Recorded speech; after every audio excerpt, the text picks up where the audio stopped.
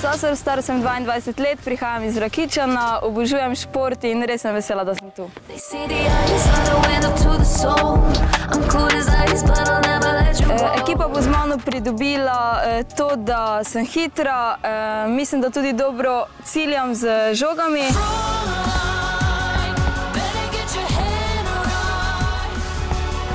Ostalim puncem tekmovanju bi rekla, da ko enkrat prijem formo, pa se navadim teh poligonov, da se me naj pazijo.